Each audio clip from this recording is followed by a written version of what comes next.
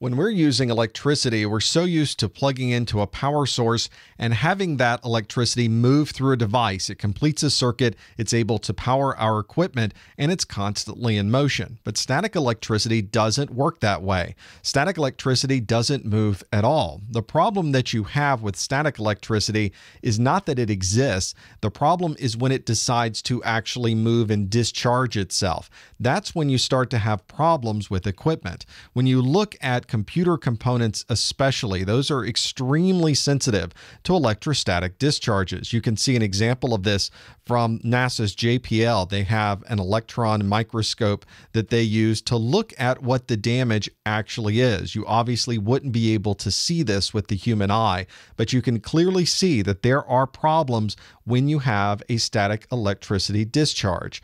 If you start doing the measurements of this, you can feel a static discharge when you rub your feet across a carpeted floor and you touch a doorknob. You'll feel it at about 3,500 volts. When you start to damage a component, however, you don't need anywhere near that type of voltage. You can have as little as 100 volts or less, and you've already created a problem. You've already damaged that very sensitive electronic equipment.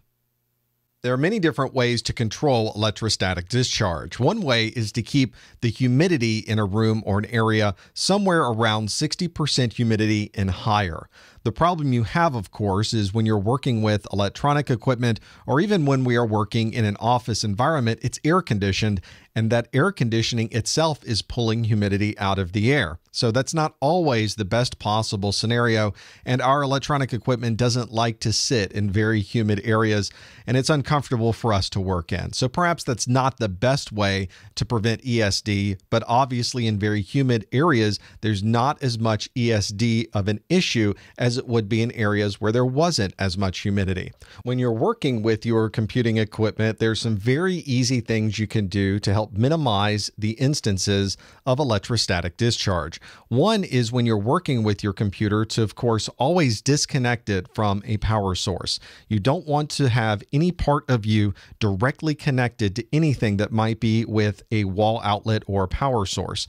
Before you touch any of the components inside of your computer, simply touch a part of the exposed metal case surrounding it. This will create a equilibrium of electrical potential between yourself and what you're working on.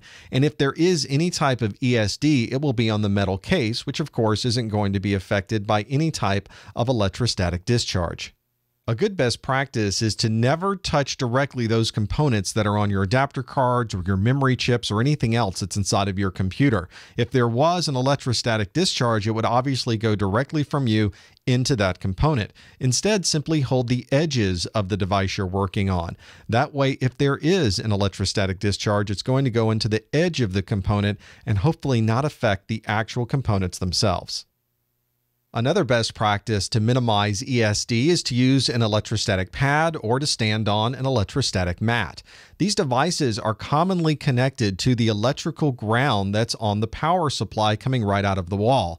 But it's important to remember that these devices have resistors inside of them that will prevent any type of voltage from ever getting to you. It's important to keep in mind that you should never directly connect to any type of electrical wall outlet. Always use something like these devices that are specifically designed to connect only to the ground and they're designed to protect you from any type of voltage discharge.